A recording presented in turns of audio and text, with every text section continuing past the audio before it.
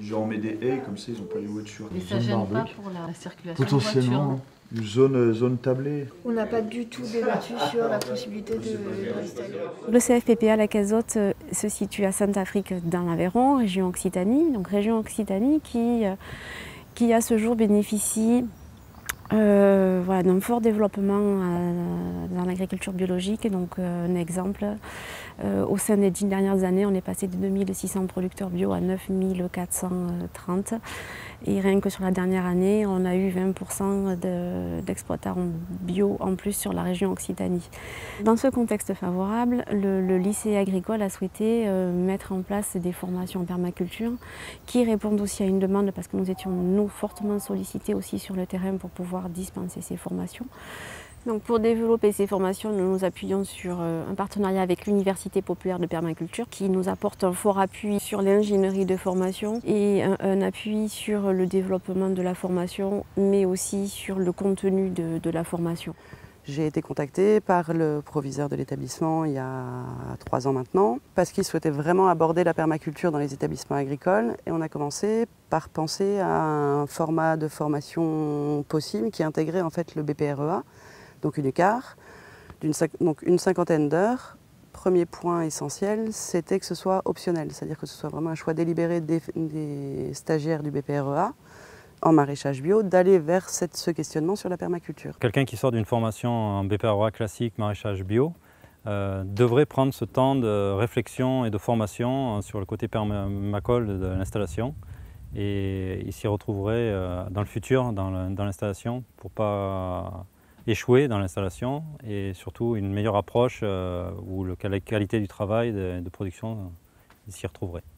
Sur Lucar, l'idée était de, re- de refuser aussi d'essayer de servir une espèce de catalogue euh, de pratiques, de méthodes, etc. C'est pas ça du tout la permaculture. Et donc, l'objectif était plutôt d'accompagner des porteurs de projets, puisque c'est ce que sont tous les stagiaires d'un BPREA, et de leur donner les outils la mallette en fait de la permaculture, de manière à ce qu'ils aient une espèce de maturité derrière pour pouvoir penser leur projet avec les éléments et les filtres de la permaculture.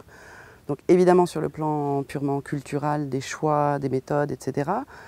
Mais plus un plan éthique et tous les outils de design, donc les outils qui vont intégrer l'intégration dans le territoire, la gestion d'un collectif ou pas collectif, mais l'humain dans, le, dans leur projet, les dimensions économiques qui sont souvent complexes et qui pensent leur projet à court, moyen et long terme. Donc nous sommes en train d'effectuer un bilan qui est à ce jour très favorable. L'objectif de cette formation au format 400 heures est par la suite de demander une formation diplômante sur la forme de SIL. Donc SIL qui est une spécialisation d'initiative locale qui permet effectivement de valoriser des formations territoriales avec un objectif effectivement de développement économique sur, un- territoire. Nous sollicitons aussi d'autres partenaires financiers dont les VIVEA, donc qui financent des projets pour des agriculteurs. Donc la permaculture fait partie à ce jour des objectifs prioritaires de Vivea. Le FAFEA aussi qui finance des formations pour les salariés en place. Donc tout ce contexte favorable entre le climat régional, les demandes effectivement, euh, on va dire montantes de formation de nos différents, candidats, euh, la politique de l'établissement fait que la permaculture effectivement fait partie d'un des projets prioritaires de l'établissement. Cet enjeu, pour nous, rejoint aussi les politiques nationales mises en place, donc dans le cadre effectivement des politiques du ministère de l'Agriculture sur, euh, les enjeux climatiques, l'agroécologie. Il répond aussi à euh, voilà, toute la réflexion qui a été mise en place dans le cadre du plan EGalim qui a également été décliné au niveau régional avec des enjeux spécifiques sur l'agriculture biologique. Euh, donc je pense que nous sommes en phase avec, ou du moins en, en réponse euh, voilà, des attentes du ministère par rapport à, toutes les problématiques actuelles et les enjeux, nationaux. Donc, à ce jour, le, recrutement est national, tout simplement parce que ce format en formation permaculture est- est assez rare à trouver en France. Donc, nous recrutons sur, tout le territoire, euh, avec quand même un intérêt pour nous de trouver des personnes qui ont un réel projet professionnel dans la permaculture ou des personnes qui sont déjà installées dans l'élevage ou le maraîchage et qui souhaitent développer une pratique permacole. Je travaille sur pas mal de projets de relocalisation territoriale et d'accompagnement de, projets donc avec de la coordination globale en appliquant les principes de design en permaculture, avec euh, la possibilité d'ouvrir l'équivalent de la CIL, donc le format de 600 heures en tout, à peu près 200 heures de, de stage et 400 heures de cours. Là, du coup, on s'adresse à un public qui est différent, parce que les gens qui choisissent un BPREA ont déjà un projet agricole ancré et ont besoin de ce statut pour pouvoir s'installer.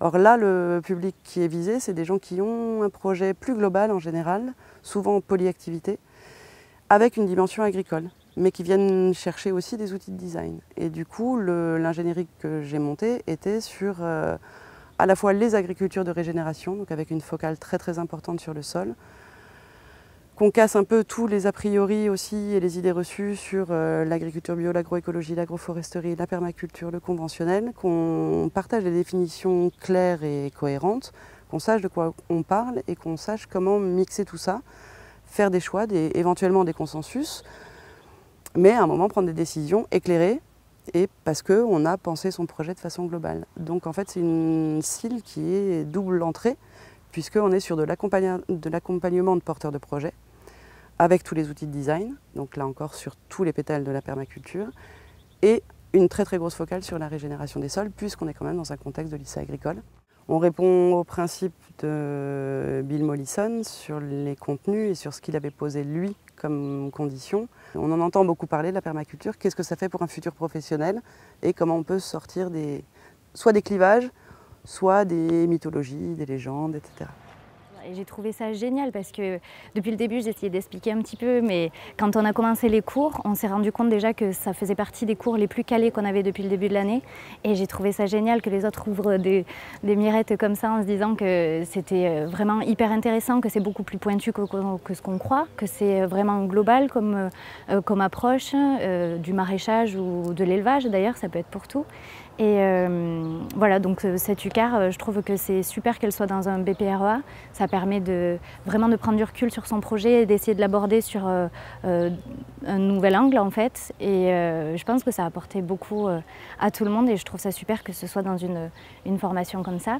Dans le BPREA, on nous fait surtout aborder euh, les questions gestion, finance, économie, enfin comment gérer son entreprise en fait. Et la permaculture, ça nous a permis quand même d'essayer de voir euh, un petit peu comment mettre en synergie tout ça, parce qu'il n'y a pas que ce côté-là. Il y a le côté bureau, puis il y a le côté euh, humain, il y a le côté euh, euh, comment designer aussi son lieu. C'est hyper important, ça fait gagner un temps énorme, ça fait faire des économies.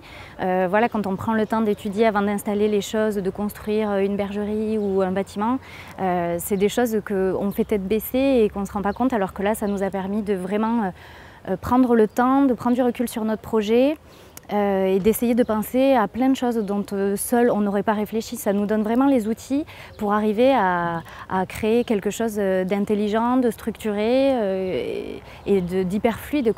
Je vais m'installer sur un petit village et j'aimerais vraiment euh, que je vais m'installer en maraîchage, que ça devienne aussi euh, leur exploitation, enfin que les légumes et tout, et qui, s'approprient un peu le truc. Donc je vais essayer d'ouvrir un maximum euh, pour valoriser le circuit court en fait, qui se dit ça sert à rien que j'aille acheter mes légumes là-bas. Il y a quelqu'un qui est de ma terrasse, je les vois pousser, elle est juste en face, donc c'est là que je vais acheter mes légumes, c'est là que je veux. Et c'est vrai que tout ce qui est valoriser les circuits courts et tout, c'est vrai qu'on y réfléchit beaucoup. Déjà nous, ça nous économise aussi, et puis les gens mangent des produits de bonne qualité et locaux. Et euh, il faut y revenir aussi. Voilà, donc je me suis installée euh, sur, sur, le domaine de ma grand-mère et euh, j'ai décidé de faire des études en maraîchage. Donc je me suis inscrite à la casotte en maraîchage bio. Et il a fallu que je choisisse des UCAR et donc j'ai choisi plusieurs UCAR, un en apiculture et un en permaculture. Voilà. Donc, euh, donc la, formation a été intense et, euh, et celle en, permaculture, euh, l'option permaculture a été aussi extrêmement intense, très courte, avec beaucoup de, de savoir et, voilà, transmis par plusieurs professeurs avec des connaissances très profondes. Voilà, donc pour moi ça a été une, une grande découverte la permaculture, j'y connaissais rien. J'avais pas d'a priori. Effectivement, je pensais que c'était plutôt la culture, enfin voilà, le maraîchage, mais je ne savais pas du tout que ça prenait en compte la vie sociale, voilà, l'humain, la terre et et le fait de produire, voilà les trois piliers, euh, ben en fait j'ai réalisé voilà, en, voyant la fleur de la permaculture qu'il y avait déjà des choses dans lesquelles euh, j'étais déjà inscrite sans même le savoir. Ça m'a conforté dans, dans, ma démarche et dans le chemin que je voulais prendre euh, sur, sur mon exploitation et sur, sur le lieu de vie. Donc je vais faire du maraîchage et de l'apiculture, à peu près de manière assez équilibrée. Mon compagnon a un BP en viticulture et moi je ne suis pas du tout de ce secteur-là. Et j'ai cherché une formation pour en fait euh, débuter notre, notre projet. Et on connaissait un peu la permaculture, euh, je vais dire un peu comme tout le monde, par internet. Et euh, j'ai vu qu'il y avait une formation au lycée La Cazotte qui est à côté de chez moi. Et du coup, euh, bah, j'ai postulé pour cette formation et j'ai été prise assez rapidement parce qu'on avait aussi un accompagnement euh, pour peut-être s'installer à la couveuse maraîchère de Sainte-Afrique. c'est par ce biais-là que je suis rentrée dans, la formation. Et nous, notre projet, en fait, c'est d'avoir des plantes vivaces, de faire des aromatiques des fruitiers et quelques légumes lactofermentés. Donc du coup, on n'arrête pas d'avoir un projet, de changer de projet. Et la formation, en fait, nous apporte énormément de choses au point de vue éthique, relationnel, euh, au niveau de tout ce qui va être euh, réflexion, observation. Et on s'est rendu compte que à chaque fois, on nous demande d'aller vite et la perma nous apprend à ne pas aller vite, à beaucoup observer, savoir ce qu'on a sur notre terrain, euh, l'identifier, euh, faire un design pour se dire ben, qu'est-ce qui est le, mieux pour notre terrain, pour, euh, pour l'écologie, pour la gestion de l'eau, pour essayer de recycler, de récupérer au maximum ce qu'on a déjà avant d'aller voir ailleurs. Quoi. Et vraiment de se poser. Donc ça fait un an qu'on est sur notre terrain et le projet a vraiment évolué et il évolue encore et je pense qu'il va encore encore évoluer. Bah, le mot de la fin, bah, je conseillerais cette formation parce qu'elle est vraiment euh, euh, dans, la, globalité, dans les relations, dans toutes les personnes qu'on a rencontrées. Ça a été vraiment de beaux échanges et euh, surtout de solidarité et, de oui d'amitié, de complicité. C'était vraiment bien. C'est pas axé que sur une, façon de cultiver. Les modes d'organisation humaine et de relation à la nature que la permaculture nous permet d'identifier, de comprendre et d'échanger, de matière nous permettre de résister. Deux fois Mais il faut aussi qu'on collabore pleinement avec des gens de terrain. programme d'avenir. La biodiversité végétale dans cette On va d'abord peut-être essayer à une définition de la permaculture. Quelques points essentiels sur la permaculture.